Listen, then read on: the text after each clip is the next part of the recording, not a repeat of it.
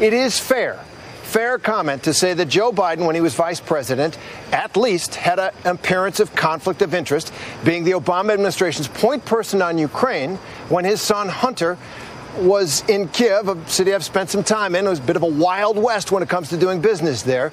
Buck raking off his dad's name there and in China, profiting off his dad's name. There's no question that he did it. You wouldn't have signed him onto a, a major energy company in Ukraine uh, unless his last name was Biden. It's hard to deny that. Now,